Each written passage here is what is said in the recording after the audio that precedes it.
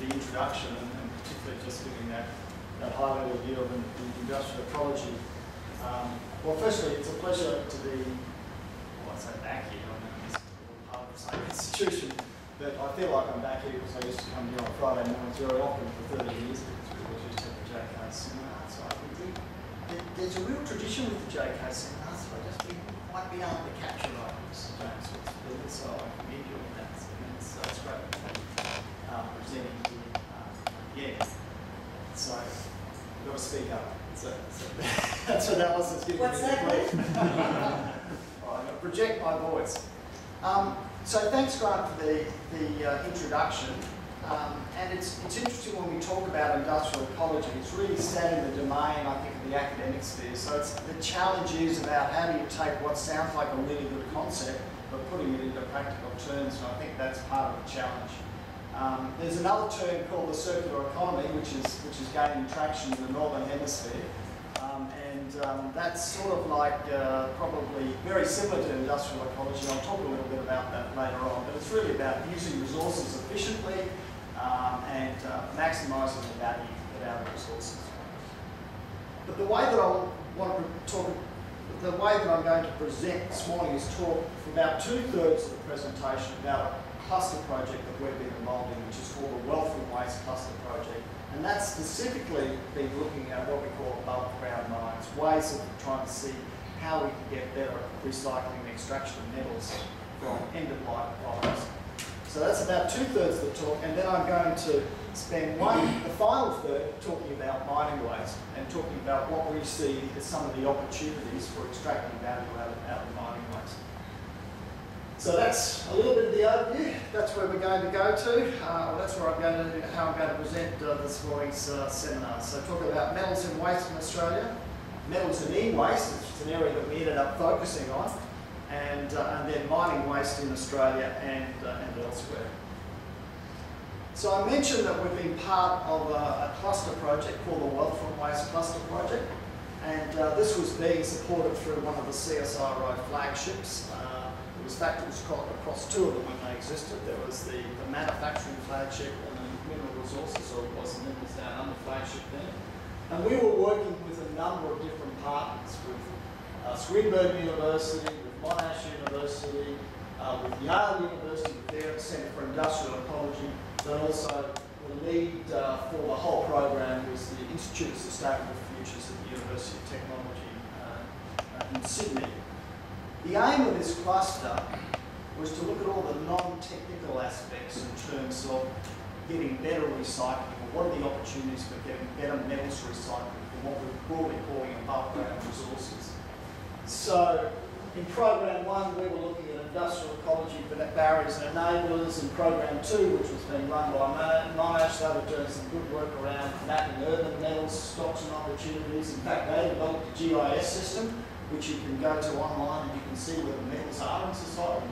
Um, they're also looking at sort of household behaviours around, around um, things like electronic equipment and what was sitting there in people's houses that could actually then be got into the recycling value chain. Yale were doing their look at doing their work around criticality, uh, criticality in terms of metals, and, and UTS were looking at uh, future business models to see how business models would change so we can get better levels of recycling. Uh, Swinburne University were coming in, they were coming in with the one aspect in terms of uh, pyrometallurgical expertise, so we did have some uh, technical expertise in there as well. So in, if anybody's aware or know of these cluster projects, there's a team of players involved, um, and that's that's all their pictures, and you can recognise me. I think I had more hair then than I do now. and um, so we had a, had a broad range of people involved, covering a, broad, a, wide range of, of disciplines as well, and that's what was necessary for, for the aims of this particular project.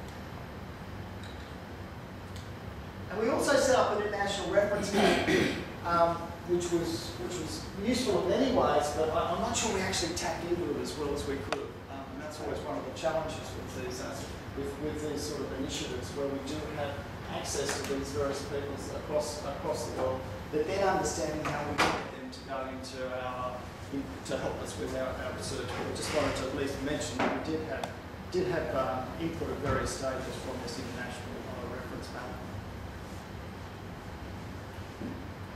So when we first started out on this project, one of the questions that we asked ourselves is, we really wanted to see what the size of the prize was in terms of what was the value of metal that could actually be extracted from above ground resources in Australia. Now one of the things that, you, which may not be surprising is that there was in many ways a lack of data around that area. I mean in terms of when we think at the front of the value chain, when we're defining an ore body, in relative terms, we've got quite good data, we're quite good understanding if we're trying to develop an ore body and develop in terms of understanding metal content there. And because we've got systems and places to do that, like and bounding. But down the back end, we really don't have that understanding around what is what is the metal value, or what is the value of any of those products in the value in, in end of life products. So what we wanted to do was we wanted to do this estimation of metal use within the economy. And this is sort of a simple flow sheet that we used as the basis of doing our initial work. So obviously there's metal production, there's going to be direct imports, direct exports of metals, and there's going to be indirect imports and indirect ex exports, so they would be things like metals that would be coming in from manufactured uh, pieces of equipment, and then there will be metals that will be used what we call the true metal consumption that will be used, used in society. And then ultimately, whenever those products come to their end of life, they will be disposed or recycled. So using that sort of approach, we tried to estimate what the metal consumption in Australia was.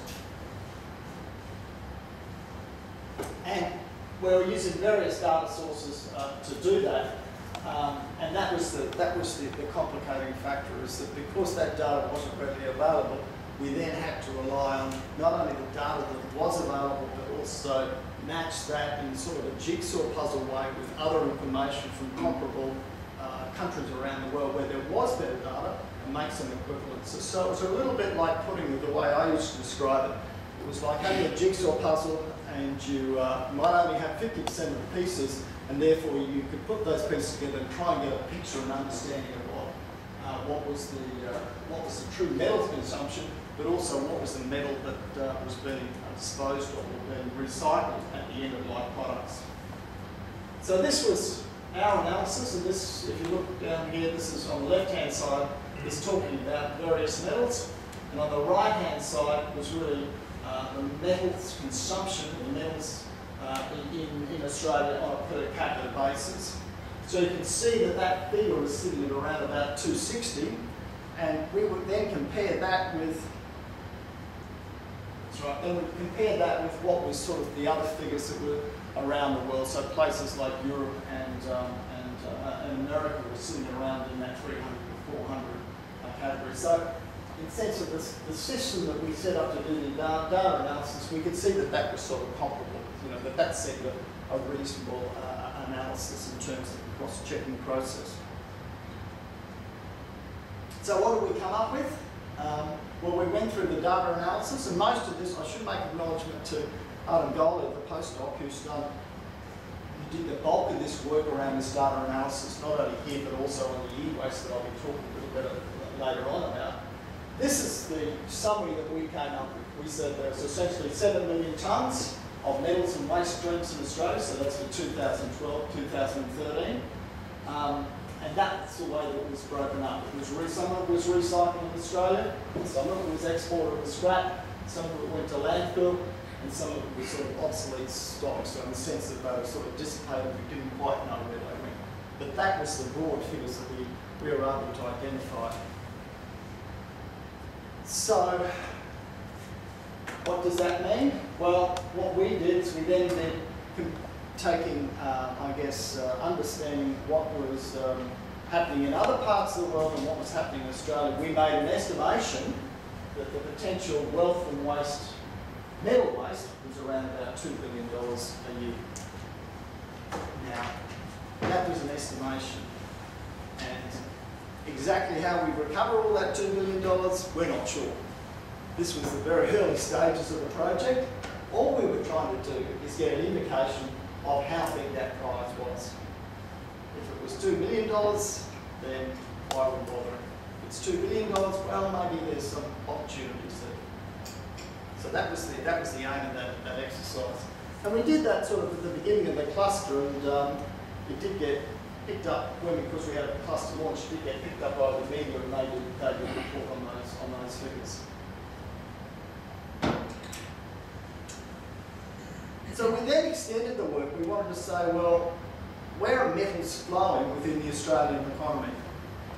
And we, um, we, we, we, took that analysis, so that original flow sheet that I showed you, we took that analysis and then we were able to plot again, looking, pulling data from various diff different, uh, uh, I guess, sources, public domain sources, not only Australia but also from overseas as well, making sure that we were, you know, we were picking data from comparable countries from overseas in terms of the way that, uh, you, know, uh, you know, similar to Australia.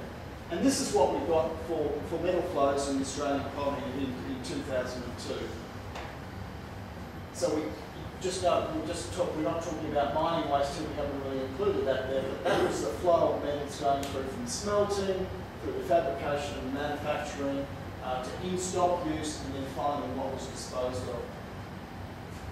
Our estimation in terms of domestic recycling back in 2002 was 2.2 uh, million tonnes. We then did the same analysis. We couldn't quite take it up to 2012, 13, that's in the previous diagram, but only up to 2011. And we could see that things, things were actually starting to increase. Uh, the amount of material that we were exporting, but also the amount of waste that was being generated in five or six million tonnes. But the interesting thing was that the domestic recycling on the previous slide was 2.2 million. Uh, on, in 2002, we estimated the domestic recycling was 2.2 million, but it had gone down to 1.8 million.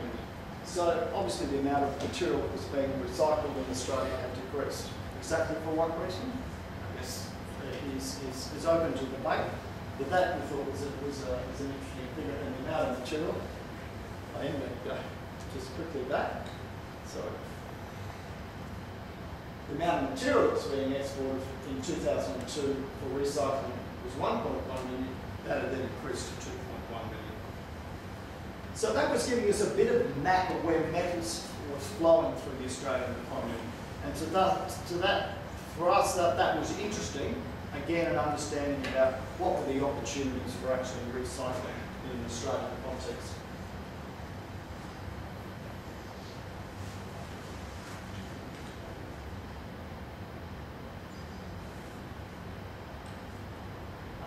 Go. So we made a decision then, and it was interesting, it happened across, it also happened sort of in parallel with the other researchers that we were working with within the cluster. That things like, we made the assumption, things like steel recycling was in many ways, uh, and scrap steel was a mature industry. So we wanted to see where we could focus our efforts in terms of understanding where the opportunities were. And so not only ourselves, but our other researchers also decided that we would focus on, on electronic waste.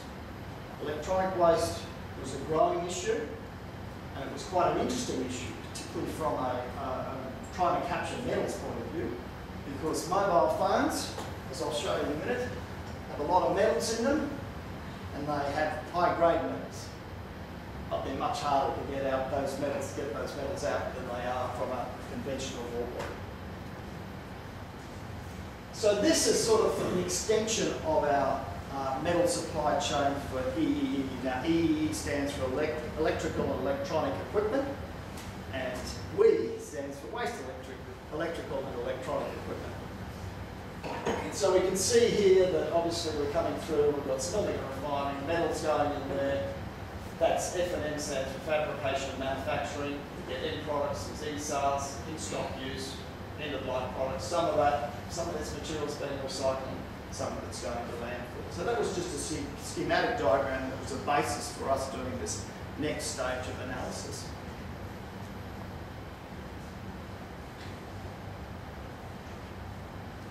So if we look at the problem, or what is the problem with e-waste, is that, what is it? As we said, it's used electrical and electronic equipment Uh, it contains a significant quantity of metals. We estimated around about 50% in the Australian context, and I'll talk, show you some figures later on about that. Um, but it also contains toxic elements, potentially lead, mercury, cadmium, arsenic, and flame retardants. The current approaches for recovering metals are typically semi-automated and manual. Recycling is low. This is on a worldwide stage. Estimation between 10 to 25 percent and it's, it's, it's hard to gauge that. Although, as I say there, the data quality and quantity is poor.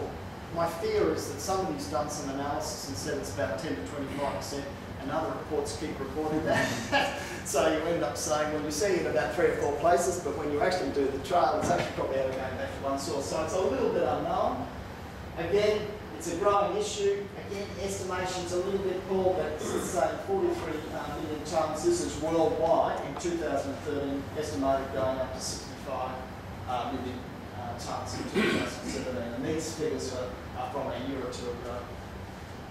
So with this sort of growth, uh, we thought e-waste recycling needs to move from small scale to large scale approaches, sort of treat it like a, a bulk commodity. So if you treat it like a commodity, the way that we think about mining and mineral processing, I guess where I'm leading to this is what were the opportunities for, for the knowledge that we have in mining, mineral processing, or even chemical engineering, we can actually be applied, apply to this recycling uh, of, of e-waste.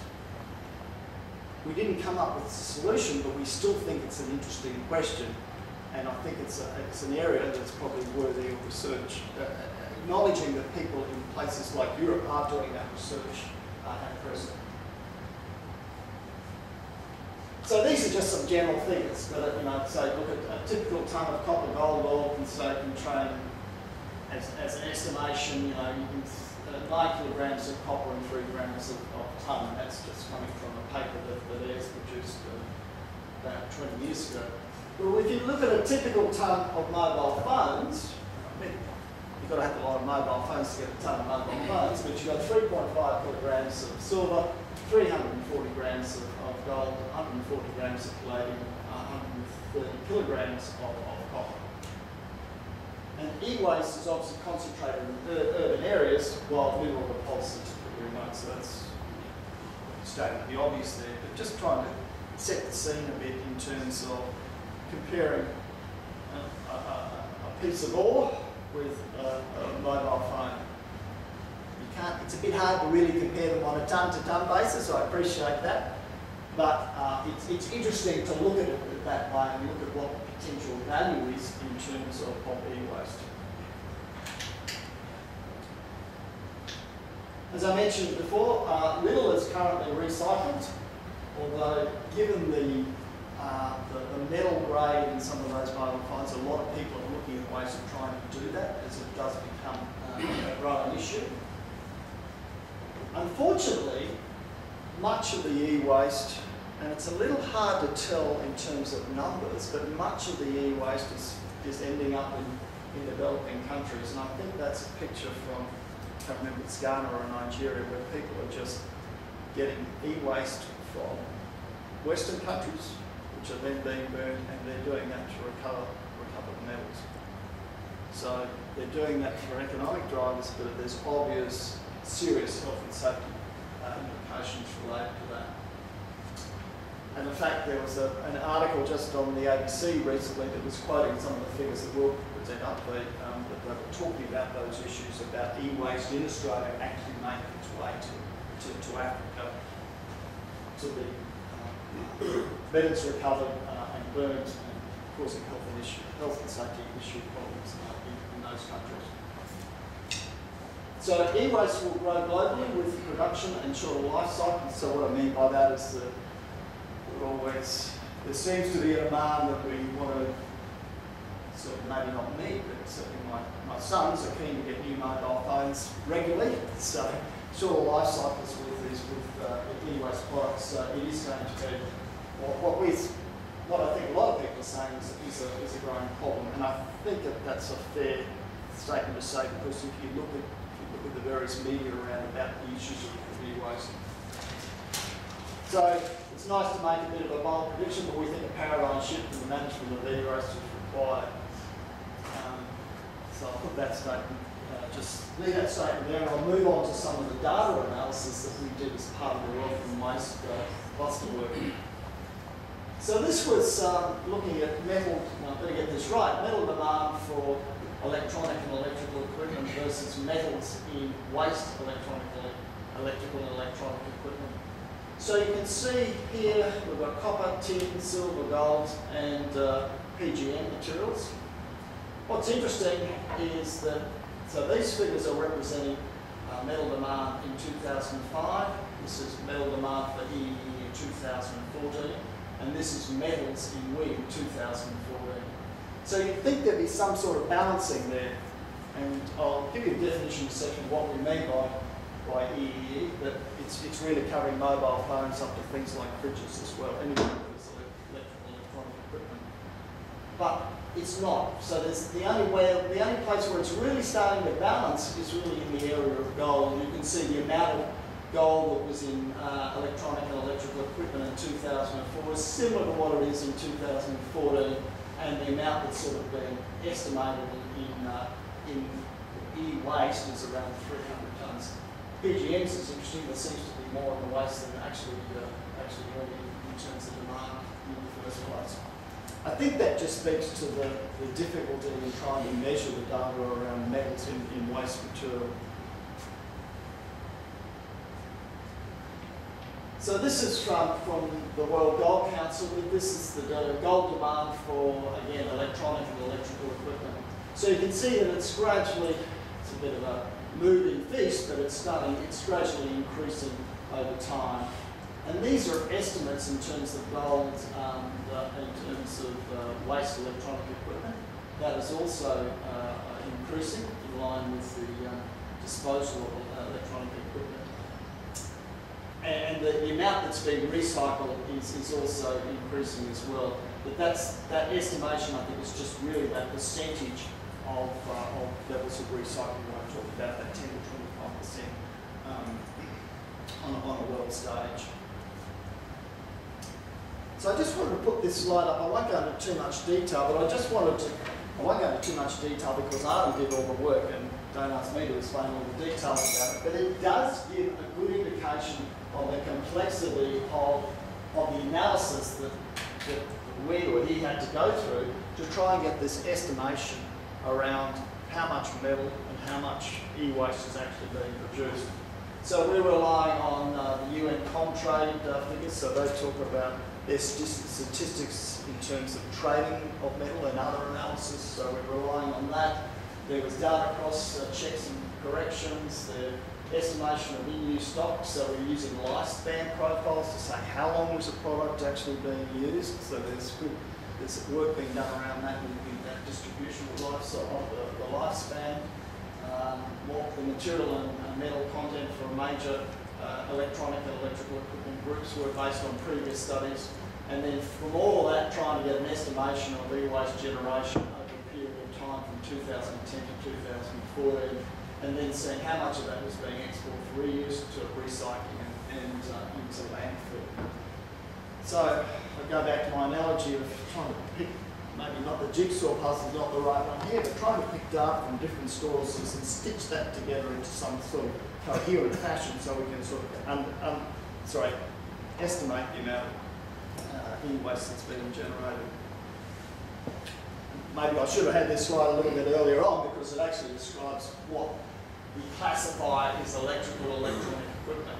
So there's things like cooling and freezing, screens and monitors, so there's air conditioning, so large equipment, um, TV screens, lamps, um, medical washing machines, so there's, again that's larger equipment, there's smaller equipment, musical instruments, radios, hi-fis, vacuum equipment, and everything's got electronics in it these days. Um, and down to, of course, mobile phones, which quite often used as an example of, of, of e-waste, just like you earlier on, in terms of looking at the metal content in, in, uh, in e-waste.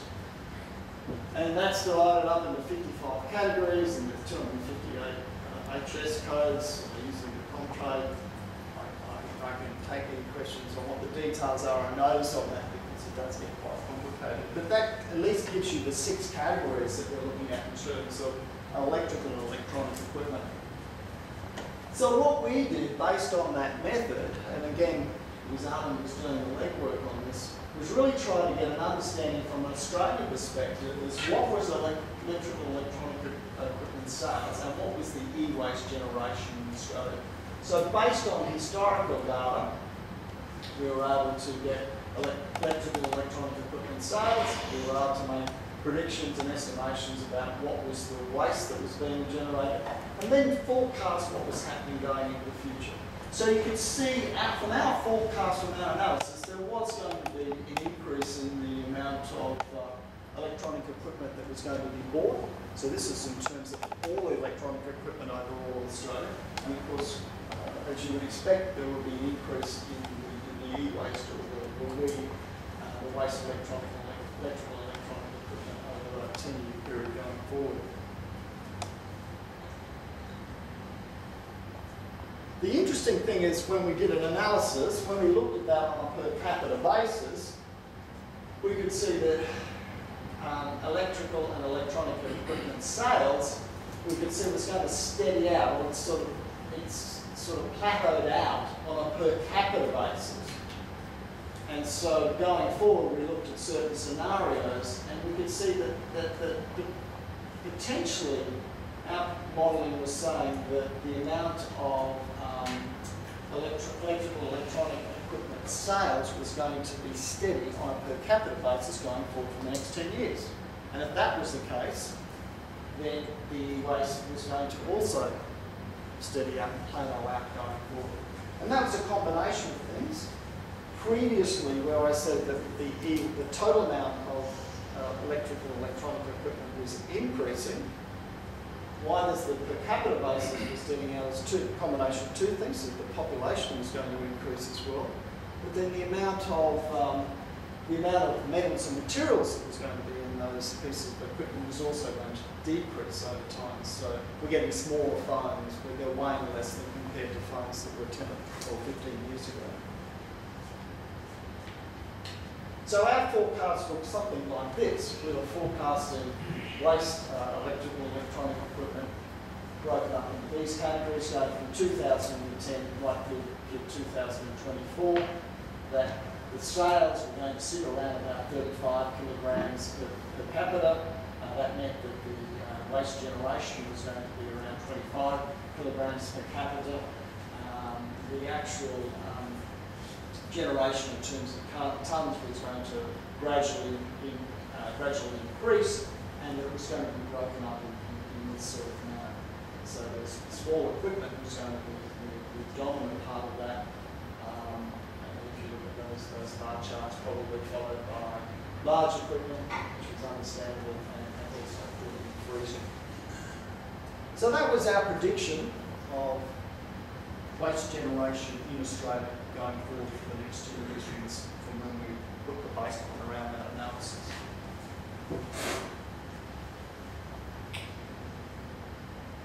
So the interesting thing for us was trying to say, well, what's the value? So this was in 2004, this was our baseline. What's the value of the material that's sitting in um, the e-waste that's being generated in Australia? So when we did our analysis, this was a breakdown in terms of the metal content.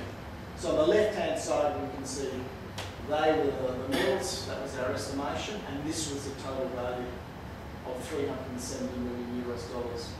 Dominated by things like see gold was a significant percentage, so this is in terms of, of tonnes.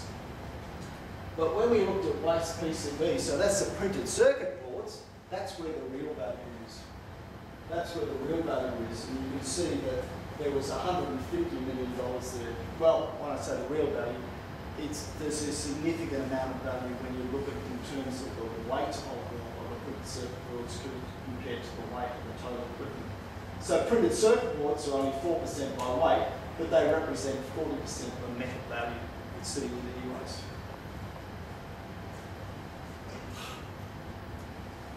And so when we broke that up into those, those categories, we were looking at small IT, screens and monitors, and small equipment, cooling, freezing, and large equipment, we could see a couple of drivers in terms of where was the value sitting in terms of the e-waste material.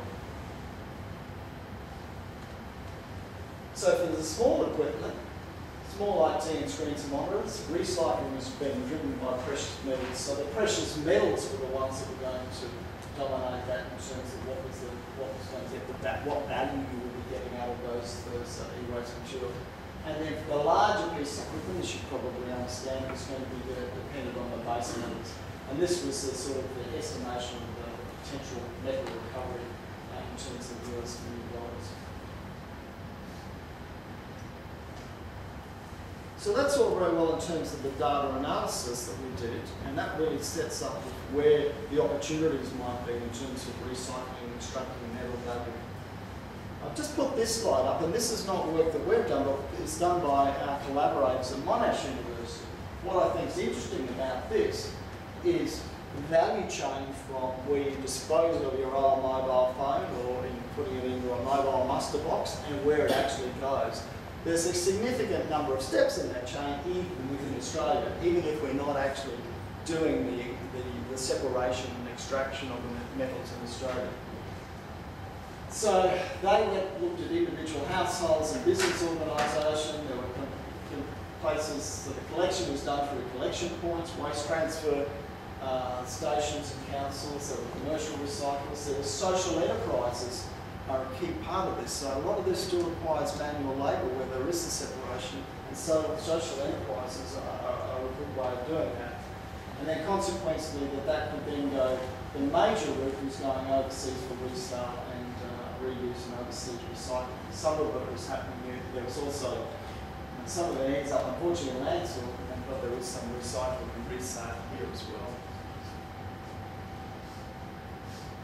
So one of the things that we thought about was that what could we, what could be some of the opportunities with, uh, within an Australian context. Uh, some of the work that's actually happening at, at, UQ was looking at ways of using hydrometallurgical approaches to actually get the, um, from the uh, CPUs, the, the printed circuit boards to get the gold figures and see if you could actually recover that gold and send that over to smelting so there would be value in doing that. So adding another step in terms of this recycling value rather than sending the, just separating the material instead of going from the value being um, um, acquired somewhere else in the world. So one of the things that I wanted to just talk about is this is the sort of the standard sort of advanced approach for metals recycling. So I'm not just talking about e-waste recycling at the moment, but I'm talking about broad metals recycling. This is comes from Sims recycling. So the, the way that they go through at the moment in terms of, this is what I think is leading practice, is the collection, they do resort for, for resale, so there's products that can be so they'll do that, they go through the shred and magnetic separation to get the steel, they use electrical currents to get aluminium, but then they'll do a hand sorting. So it is a semi-automated process. So the question that I had, and it's really only been a question, is what could we do from the knowledge that we have from mining and mineral processing that could actually help separate and recover the metals from, uh, from electronic equipment, from electronic waste or other end-of-life products that have metals in them. Now appreciating things like some of this material is ductile rather than metal, so grinding might not work so well, but this was just a proposition we put up and we actually talked to the UQ Dow Sustainability Centre about doing some work around that area. They actually said, that's really interesting, but once you go and write a paper about it, so they paid us to go and write a paper, which is think what we call e-waste, uh, what's, the few, what's the next step in Australia? So that's the end of my second part of the talk, and it better be because I'm just looking at the time. I now want to move on to talking about mining waste. Uh, and I just want to talk about this concept of mining in the circular economy, which is similar to industrial ecology that Grant was talking about previously. So this idea of, uh, so there's a number of reports that out that talk about, a few quotes there, in terms of moving towards, the mining industry moving towards more recycling, more circularity, getting more value out of waste material. So I'll, I'll let you look through that, but there's, these are organisations like the World Economic Forum, I mean the International Council of Mining and Metals, which is the, the, the major international body that's representing, uh, representing the industry. And then there's just other work that's come out of the Yale University about looking at these opportunities. So this is This is a little bit more looking the future, looking about what I think some of the opportunities are uh, around SMI and, and, how we can actually get better value out of, out of mine waste. And I probably don't need to tell you this, this is a diagram that I put up for people at work, mining focused. Um, but obviously we produce a lot of overburden waste rock. Um, again, this is quoting some, some standard figures. To produce a tonne of pure metal, we need to process an average 22 tonnes of zinc ore all the way down to 330 tonnes of gold or pure platinum. Again, it doesn't really make sense because a tonne of gold, nobody talks about gold in tonnes, but it just gives you a feel of the magnitude of the numbers. Now the next slide is really the significance of mining waste in Australia. So estimation of Australian generation of waste rock mine, mine tailings is around six to seven billion dollars, a billion dollars, sorry, billion tonnes per year. Um, so that's estimation. To put those figures into context, the current worldwide cement production is about 3.5 billion tonnes per year. Uh, but then there's also the, the, the legacy issues, and I think this might even be grossly underestimated, around abandoned mines within, within Queensland alone but the estimation we've got there is around $2 billion between Northern Territory and Queensland with abandoned mines and the legacy issues associated with that. So that diagram there, the picture of the background is actually Samarco before the dam burst, and then that's a picture after the dam burst, which I always think is quite a dramatic picture. Um, so I, I guess the, the message that we see is that the vast majority of waste is still sitting at its lowest value.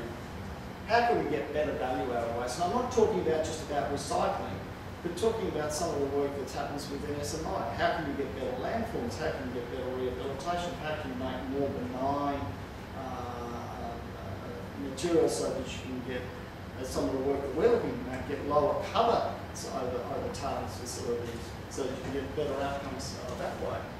So talking about a broad value proposition in terms of value. Um, so this is just a diagram what could be the potential ways of looking at economic value versus environmental legacy. And it's just a conceptual diagram, but it's really saying, are there ways that we could actually go through and look at what would be the value that we could get out of mine waste? Um, and that's going up from contaminated waste to benign waste. I mean, some of these things are happening already. Mine backfill, reuse for construction up to potential byproduct recovery. Some of the work that's been done by a PhD student, um, which is part of, being part of this work from Waste Cluster, is really looking at uh, taking an industrial ecology approach to mining waste. So the work that, that Eleanor's been involved with is really looking at what we call circularity indicators. Uh, I guess it's really a system of indicators. where we should call it circularity indicators or not is, is probably a bit debatable. But the idea of the work that she's been involved in is she's been working with Mount Morgan. And so looking at the uh, current project at Mount Morgan, which is trying to extract value from the old uh, waste dumps there, which is copper sulfate, pyrite and gold. And in the process of doing that, actually environmental outcomes. So she was looking at the historic operations and she's put together a set of indicators to sort of judge the performance of the historic op operations.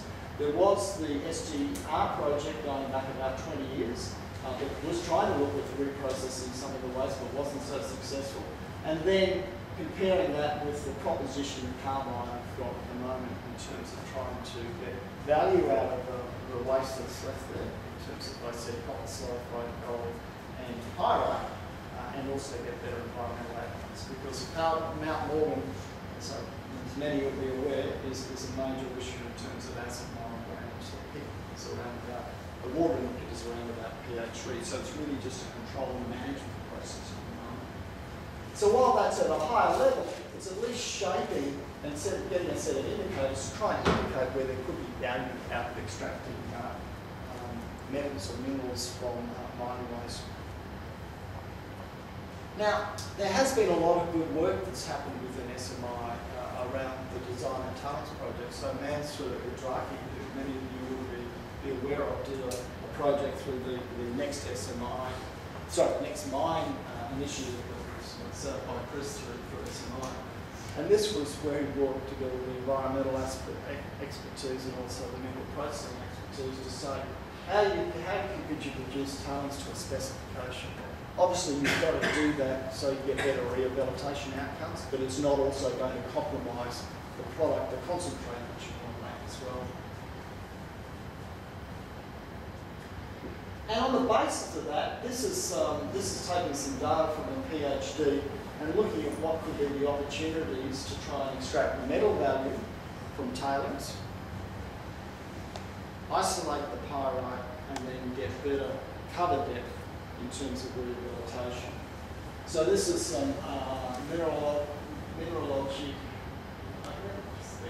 mineralogy, mineral liberation, and density data around lead zinc and so if I just look at this, so what could be done here, and these, this is broken up into plus uh, 10 micron and, and minus 10 micron fractions, is the opportunity to take this to get benign covers, soil and construction material, look at trying to extract some of the, uh, the minerals of influence from galena, pyrite and sphalerite, um, and then try and manage the pyrite so you're, you're not uh, running against the acid mine uh, issue. So this, this is a project that we're trying to develop at the moment and explore different ways of, of whether we can do that with a feasible economic flow sheet. And finally, an area initiative that we're trying to be developed through the program I'm working with that I'm leading is how can we look at putting a large multidisciplinary project together around waste transformation. Just pull this slide up.